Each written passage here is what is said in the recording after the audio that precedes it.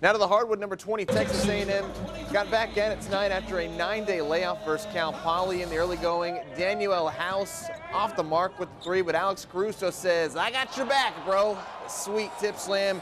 A&M takes an early one-point lead, now tied at eight. Jalen Jones working on the block. Buckets and the foul, the free throw, gave the Aggies a three-point lead, and they took off from there in transition. House, three ball, corner pocket, swish. That gave the Aggies a 20 to 9 advantage. And finally, Tonny Trocha Morelos dumps it down to Tyler Davis for the deuce. Davis led the Aggies with 18 points. A&M picks up the 82 to 63 victory. They begin SEC play Saturday at home versus Arkansas.